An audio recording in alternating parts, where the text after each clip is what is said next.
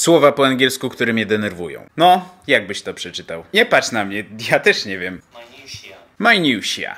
No fajnie. Rozumiem, że to E na końcu było konieczne. Nie dało się tego zrobić, że minusia się kończy na A, a to E jest niepotrzebne. Otóż nie. Otóż nie, ponieważ dając A obok E, tworzymy wyjątkowość tego języka. Patrzymy wszystkim, którzy uczyli się angielskiego do tej pory prosto w oczy i mówimy ty myślałeś, że coś o mnie wiedziałeś.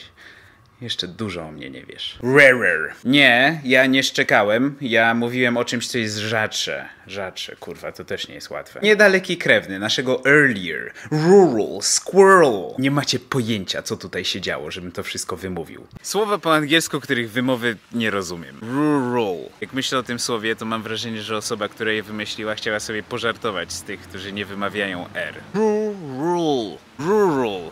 To jest ciężkie. Mój język się tak nie wypa... nie... Aż mnie szczęka boli. Infinite, ale finite. Czy infinite przypadkiem nie znaczy przeciwieństwo finite? To dlaczego to czytamy finite, a nie finite? Nie czaję. Salmon. Słyszycie tam L? No właśnie, bo nie ma tam L. To po co się pisze to L, jak nie ma tam L? Czy tylko mnie to denerwuje? Słowa po angielsku, których pisownia doprowadza mnie do szału. W sensie, serio? Nie mogliśmy tego załatwić jedną literką? Q i Q. Jakby, po co to awesome? Serio, przez pierwszą połowę życia myślałem, że to jest awesome. Sensie, ja rozumiem, że ave to jest o, a sam to jest sam. Rozumiem to, ale w praktyce Uważam, że dałoby się załatwić to w lepszy sposób. Dlaczego great piszemy great, a grateful grateful? Jaki to ma sens? Nie moglibyśmy po prostu powiedzieć great i dodać full, grateful? Za każdym razem źle to piszę. Słowa po angielsku, które mnie denerwują. Unique. Unikłe. Podejrzewam, że gdybym nie umiał angielskiego od urodzenia, nigdy nie nauczyłbym się czytać tego słowa. Mamy tyle możliwości, żeby przeczytać to słowo źle, że aż bym nie wiedział, z której skorzystać. Unik, uniquiui, uniqui. To. I tutaj nie chodzi mi nawet o wymowę, bo wiem, że to jest mosquito. Ale za każdym razem, jak to piszę, cofam się pamięcią do trzeciej klasy podstawówki. A to nie jest łatwe. Ledwo pamiętam, co robiłem wczoraj. W ogóle po co jest ta literka Q w angielskim? I'm so cool, I have the letter Q in my alphabet. No fajnie, tylko nawet cool się nie pisze przez Q, czy tam Q. Ale w słowie mosquito, serio, nie moglibyśmy tego zastąpić przez jakieś K? Mosquito? Bym pamiętał, jak to się pisze wtedy. Jeopardize. To słowo wygląda jak zlepek losowych liter. Jeopardize? Gdzie jest to O? I czemu A się zamienia na E? Naprawdę uważam, że powinniśmy to zamienić na Jeopardize. Jeopardize? I oni w Stanach każą takie słowa literować małym dzieciom na konkursie literowania. Słowa po angielsku, które mnie denerwują. Choir. Powiedzcie mi, która część wyrazu odpowiada tu za choir? Za qua... Za cokolwiek. Nobody is doing his job here, okay? Czytamy cecha jako k, później jakieś ły, dodajemy nie wiadomo skąd, później o zamieniamy na a, choir i to e. Skąd to e się bierze? Poza tym dźwięk jest ten sam co w słowie acquire, który się pisze kompletnie inaczej. Ja już nawet nie będę wspominał, że on się kończy na re, a czyta się choir, er. No, to się czyta nozia. Dlaczego? Nie wiem. Większość tego wyrazu to samogłoski i nagle udajemy, że zapominamy jak się je czyta. Tylko dla tego wyrazu. W tym wyrazie si czytamy jako zia. Okej?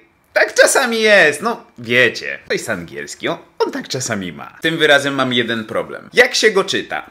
Essential. Jak się go pisze?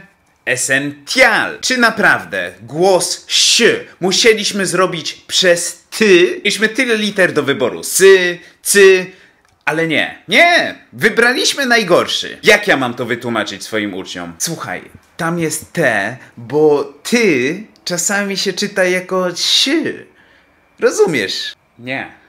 Nie rozumiem. Słowa po angielsku, które mnie denerwują. Lester. Dzięki Bogu ktoś mi powiedział, jak to się czyta i nie zbłaźnię się teraz przed wami. Akurat tym razem. Spokojnie, jeszcze będzie okazja. Kto wymyślił, że to czytamy Lester? W środku dosłownie jest cały wyraz, który pomijamy. I to jest okej z wami? Czemu nie możemy tego czytać Leicester?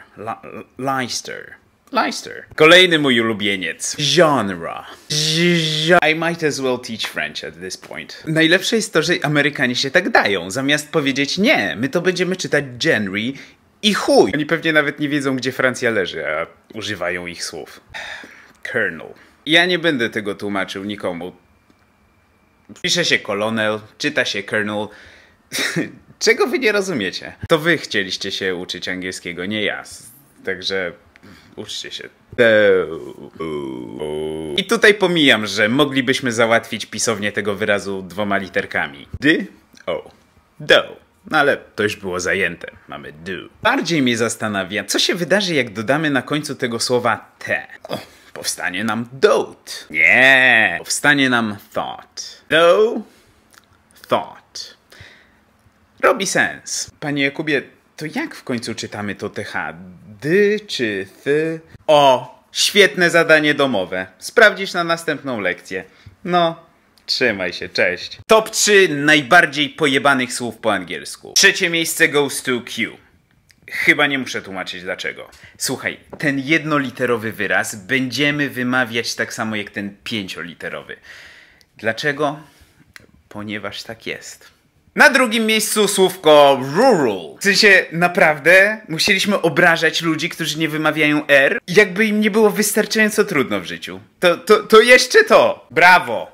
Brawo. Tak muszę bić, bo nagrywam. No i top of the top. W zwycięzc... Zwycięzca.